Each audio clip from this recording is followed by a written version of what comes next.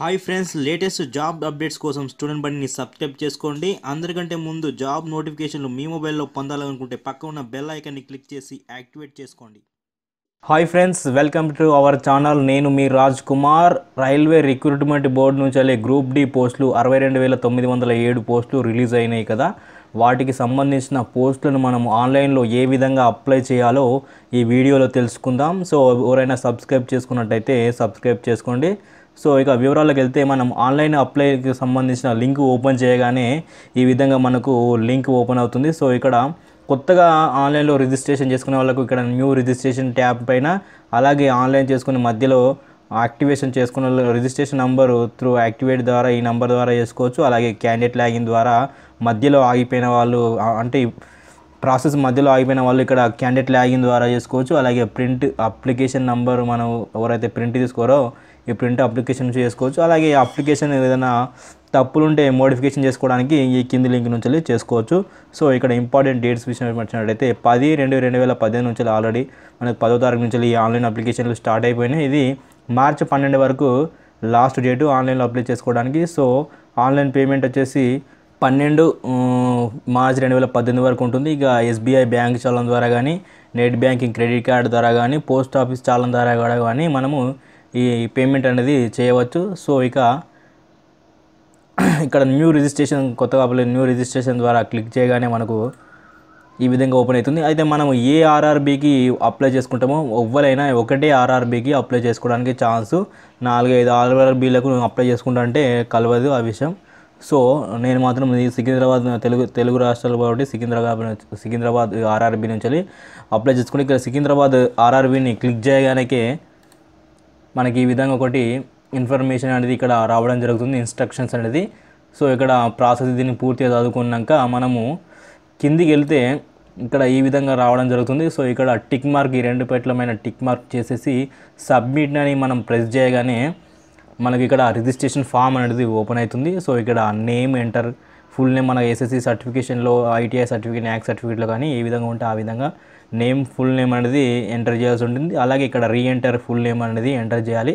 ఇక్కడ date of birth ఇక్కడ date of birth enter చేసుకోవచ్చు. సో ఇక్కడ ఆధార్ కార్డు స్టాటస్ అంటే ఆధార్ కార్డు ఉందా లేకపోతే అప్లై చేశారా ఆల్రెడీ ఆధార్ కార్డు ఉందా అన్నది ఇక్కడ ఆప్షన్ మనం సెలెక్ట్ చేసుకొని ఆధార్ కార్డు ఉంటే ఇక్కడ కింద ఇంకో ఆప్షన్ వస్తుంది. అక్కడ ఆధార్ కార్డు ఎంటర్ నెంబర్ ఇవ్వాలి అలాగే ఇక్కడ ఫాదర్ నేమ్ మదర్స్ నేమ్ అయితే సర్టిఫికేట్ పైన ఫాదర్ నేమ్ ఏ విధంగా ఉంటే ఆ విధంగా ఎంటర్ చేయాలి. ఇక్కడ మదర్ నేమ్ అలాగే పదవ తరగతి లేక ఐటీఐ ఎన్ఈఎస్సి సర్టిఫికేట్లు మనం ఆ విధంగా అప్లై చేసుకుంటే పదవ తరగతి క్వాలిఫికేషన్తో జాబ్స్ చదువుకుంటే పదవ తరగతి సర్టిఫికేట్ నెంబరు ఇక లేకపోతే ఐటీఐ నుంచి లేకపోతే నాక్ సర్టిఫికేట్ నుంచి అప్లై చేసుకుంటే వాటి నెంబర్ వేయాల్సి ఉంటుంది.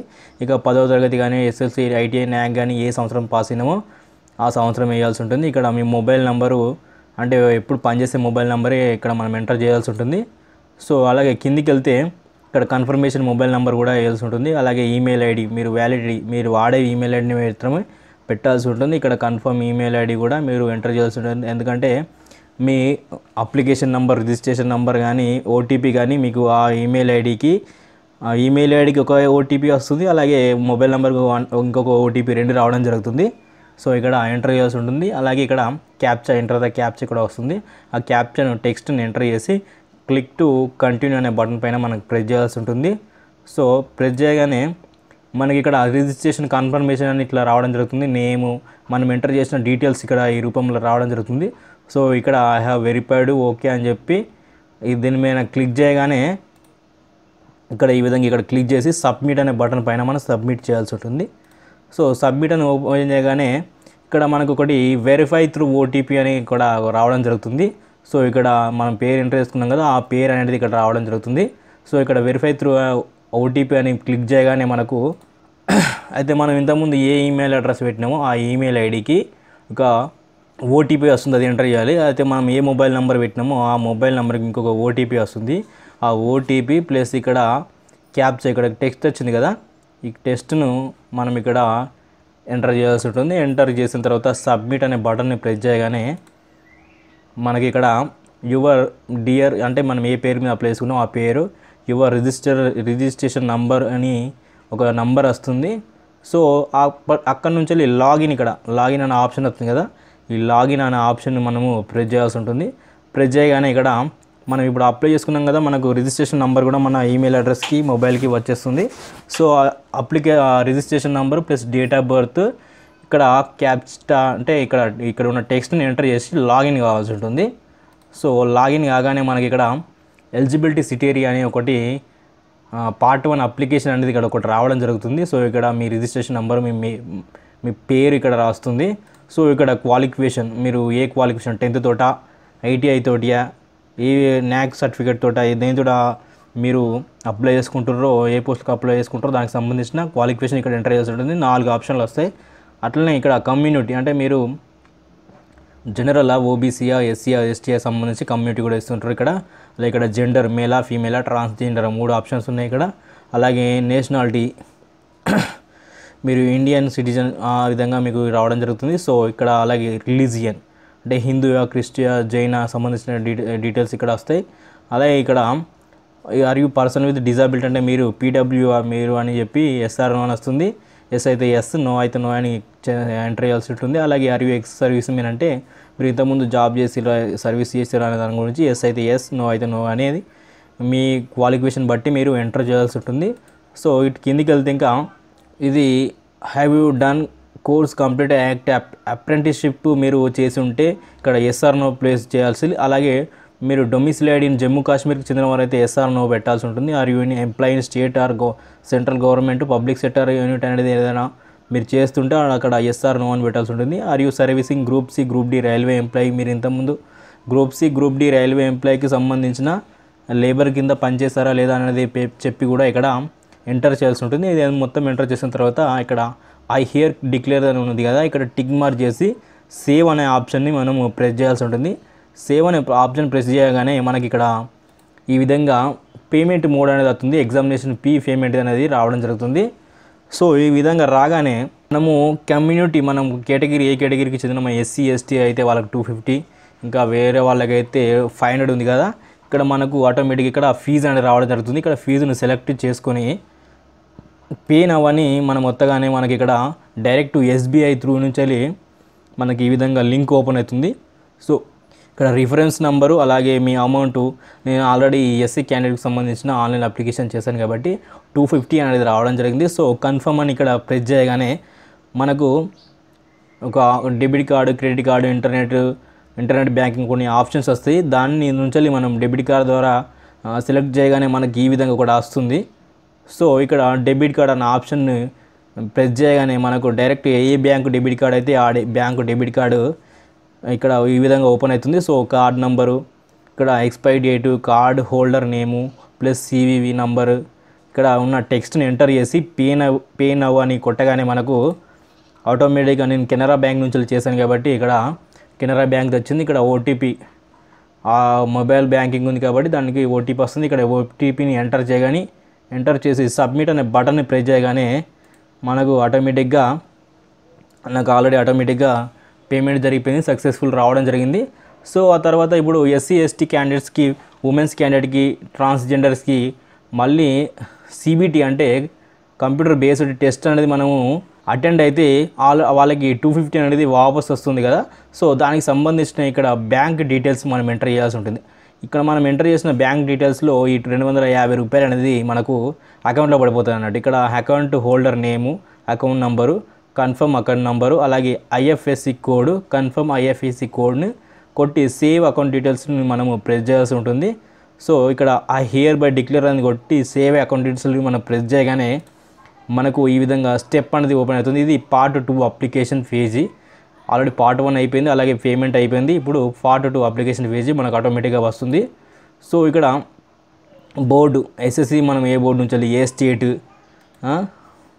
అలాగే ఏ district year of passing percentage మనకు ఆ సర్టిఫికేట్లో ఎన్ని పర్సంటేజ్ వచ్చింది.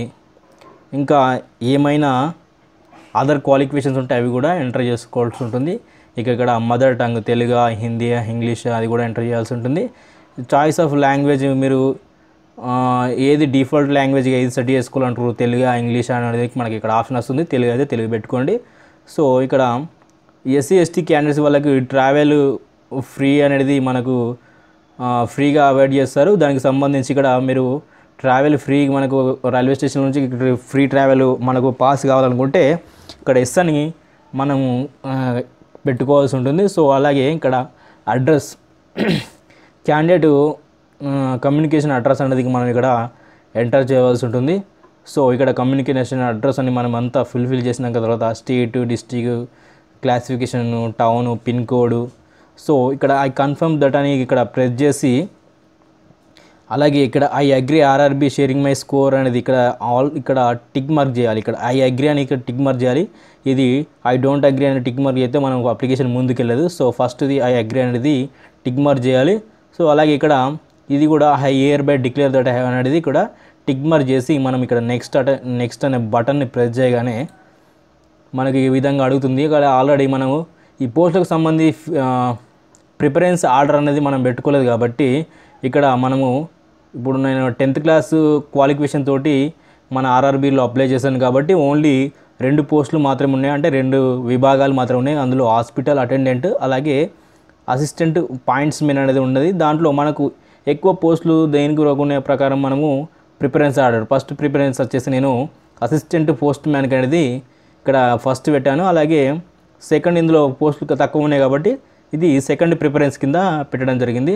సో ఇక్కడ ఐ హ్యావ్ వెరిఫైడ్ పోస్ట్ అనేది టిక్ మార్క్ చేసి యాక్సెప్ట్ యాక్సెప్ట్ అని ప్రెస్ చేయాల్సి ఉంటుంది. సో నేను ఆ విధంగా ఓ- ఓపెన్ చేయగానే ప్రెస్ చేయగానే ఇక్కడ ఫోటో అలాగే క్యాస్ట్ సర్టిఫికేట్ మీరు ఎస్సీ ఎస్టీ కాబట్టి ఆ క్యాస్ట్ సర్టిఫికేట్ కూడా అడుగుతుంది కాబట్టి. సో ఇక్కడ ఫోటో ఏ విధంగా ఉండాలంటే ఇక్కడ ఫోటో కలర్లోనే ఉండాలి ఇక్కడ ఏ విధంగా ఉండాలి ఏ విధంగా ఉండదు అనే విషయాన్ని మనకి ఇక్కడ ఇవ్వడం జరిగింది. సో ఇక్కడ ఫోటో పెట్టి దానిపైన ఏ పేరు అయితే ఆ పేరుకు సంబంధించిన పేరు ప్లస్ డేట్ ఆఫ్ బర్త్ అనేది కింద ఎంటర్ చేసి ఆన్లైన్లో అప్లోడ్ చేయవలసి ఉంటుంది. సో నేను ఆల్రెడీ ఫోటో అప్లోడ్ చేసి సర్టిఫికేట్ అప్లోడ్ చేశాను కాబట్టి ఇక్కడ సబ్మిట్ అనే బటన్ ప్రెస్ చేసిన తర్వాత డియర్ క్యాండిడేట్ అంటే candidate name your registration number your online application provisionally accepted by subject to strictly ఇక్కడ అనేది మన ఈ ఆర్ఆర్బి గ్రూప్ డికి సంబంధించిన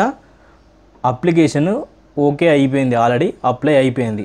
సో ఇక్కడ ప్రింట్ అప్లికేషన్ ఫామ్ అనేది క్లిక్ చేయగానే నాకు ఆటోమేటిక్గా అప్లికేషన్ ఫామ్ అనేది వచ్చింది.